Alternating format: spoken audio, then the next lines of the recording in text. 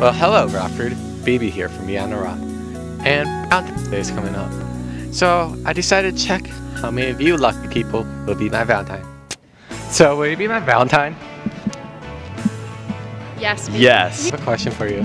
All right, Will you be my Valentine?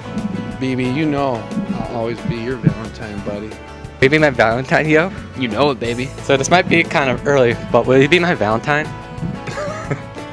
I'm married. I'm sorry. Will you be my Valentine? Um, I will if you buy me chocolate first. Yeah. So I have a question. Yes. Will you be my Valentine? You know what? I think you could do way better than me. Will you be my Valentine? Well, I don't know. I mean, Hey, Mr. Rich, you are my hero. Will you be my Valentine?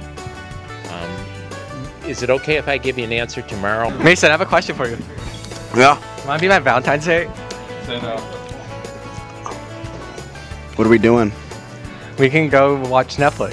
Oh! Hey, Spencer, I have a question for you. Yeah, what's up? Will you be my Valentine? Of course, BB. Will you be my Valentine? Of course I will. She got flowers for me. How cute. Will you be my Valentine? No. I have a question for you. Will you be my Valentine?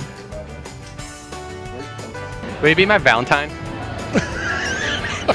so, will you be my Valentine? Yes. I have a question for you. Yeah. Will you be my Valentine?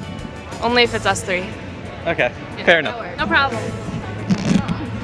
Will you be my Valentine? no, heavens no, never. I would not even consider that. I love you, BB, but no.